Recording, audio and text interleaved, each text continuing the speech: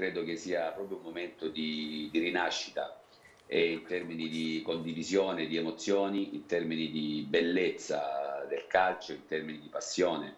Eh, quindi veramente non vedevamo l'ora tutti quanti. Speriamo che sia solo diciamo, l'inizio di un percorso che porti già eh, diciamo, alla, ad iniziare la prossima stagione eh, almeno con un 50% e poi di lì insomma mano a mano a non avere più, più limiti. Credo che proprio il discorso del, degli stadi, del, del, dell'afflusso molto limitato, così limitato, sia qualcosa di profondamente sbagliato. Eh, e quindi eh, con me sfondi proprio con un cancello aperto. Credo che si doveva e si poteva fare in modo diverso già da mesi. Arrivati a questo punto, eh, questo discorso dei mille in stadi, per esempio come lo Jacopone, ma anche come altri stadi, credo che sia veramente un fuori di logica.